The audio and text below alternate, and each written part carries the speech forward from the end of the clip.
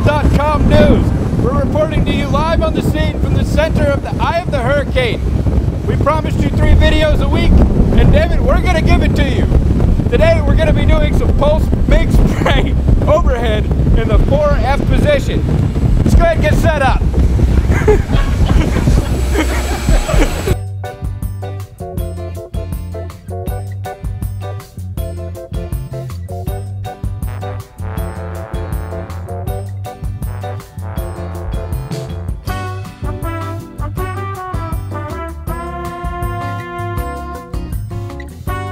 All right, so we're going through the comments uh, for the vertical 3G Pulse MIG video, and Charles Baker wanted to know about uh, the stick out, you know, and how that's going to affect uh, his BBs and stuff that he's getting in flat and horizontal position. So we're definitely going to address that today.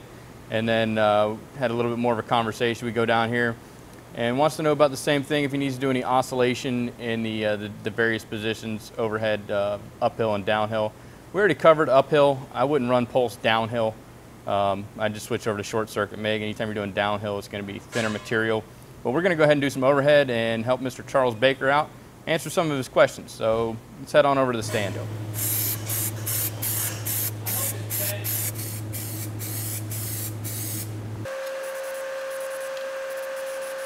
All right, let's cover some settings and uh, some other pertinent details. We're running 045 diameter 70S6 wire. We have a 90-10 gas uh, for our gas. Remember, you gotta have 82% or higher to achieve a true spray transfer, okay? Uh, we're gonna be running 165 inches a minute, and I went ahead and did a couple practice pieces earlier, so we're gonna hit 1.02 on the trim. Always, always, always, I can't emphasize this enough. If you guys are gonna work on something, it's new, it's a different material thickness than you're used to working on, try to mock up a piece um, same material, same joint configuration to dial your settings in, especially if you're not working off a WPS, um, which a lot of cases most of you aren't. Try to you know get those settings dialed in on similar material, same joint configuration. It's gonna make your life a lot easier, okay? A lot less grinding that way. So we're all set up here.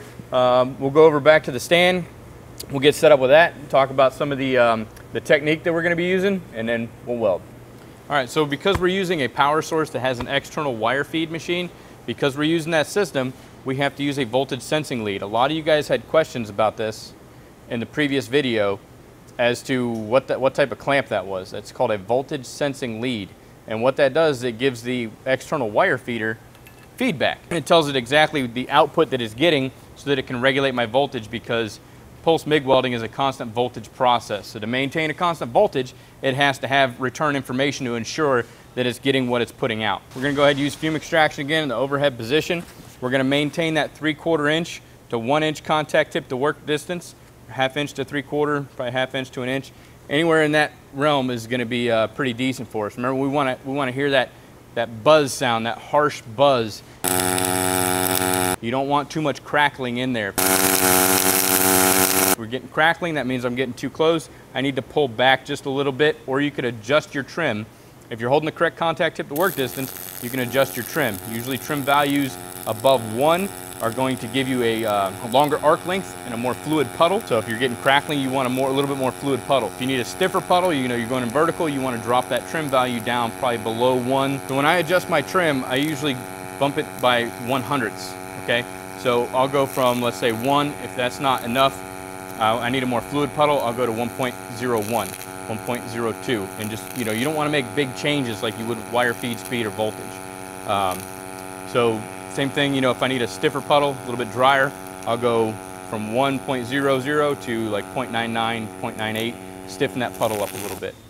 All right overall turned out pretty decent. I am going to run a second and third pass show you guys how to do multi-pass stack those passes. Uh, there was some questions on whether you should weld from top to bottom bottom to top on these we're gonna get into that. All right, so some of you probably noticed I got the uh, baby shark on here. If that joke doesn't make sense to you, go back and watch the origami cart build, episode two. While you're there, watch all three of them. This clamp is here to give me stability. I don't wanna prop up against the plate because it's gonna start getting hot pretty soon, right? So I'm just kind of get myself into a groove, keep myself stable, and work across that joint. That way everything stays kind of uniform, especially if you're doing production work, uh, you know, welds that need to be aesthetically appeasing, you know, prop up, you know, get stable. Um, addition to that, voltage sensing lead. I know we already talked about that. Do not stick this on your workpiece clamp, okay? That's a no-no. Try to keep it away from your workpiece clamp. clamp it to your workpiece. Even though both of them are hooked here, you want to keep this one closest to the welding area. Uh, we're gonna go ahead hit up pass number two. I'm gonna lay that on the bottom. So all I'm gonna do is follow the toe of this previous weld right here and that should split 50-50 on here. I'm gonna keep that same roughly 45 degree angle.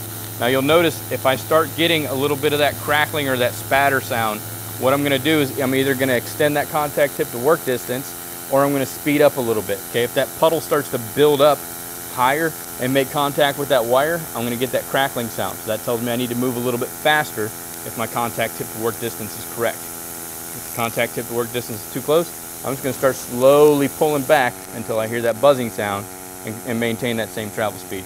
All right, so that's pass number two. We're gonna go ahead and put in pass number three now. So pass two, we, we covered up the uh, weld number one 50%, leaving half of that uh, weld metal on the plate, the other half across 50% of that weld. Now pass number three, I'm gonna go to the top toe of weld number one, where that, uh, up against this top plate here, I'm gonna tie in 50% to here, 50% over uh, pass number two. Okay, so you won't be able to see weld number one anymore. You'll only be able to see two and three once we're done. I'm gonna aim and favor the top edge just a little bit more, just slightly more. Gravity's gonna help me get down into there. Notice I'm not doing a lot of oscillation. It's pretty much a nice, slow, steady push right across the joint. You really don't have to do much oscillation.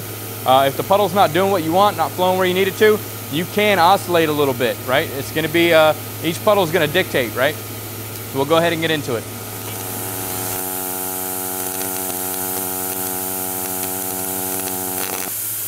All right, so I'm gonna go ahead and take this down and I wanna show you guys a, a neat little trick. All right, so a lot of people wanna know how fast they should be going. So a good rule of thumb is you wanna go the speed that's gonna allow you to maintain the, the proper width of your puddle. Okay, so typically with gas metal arc welding, it is recommended that your puddle should be no wider than five to six times the diameter of your electrode. So we're running 045 wire today. So for you folks across the pond, that's 1.14 millimeters. See, getting better.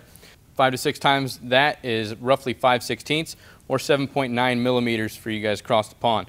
So this is a, just a good visual representation. I cut five to six pieces. I'm going to set it on the plate and you'll see that's roughly, it's a little warm there, five to six times is about the size of that weld.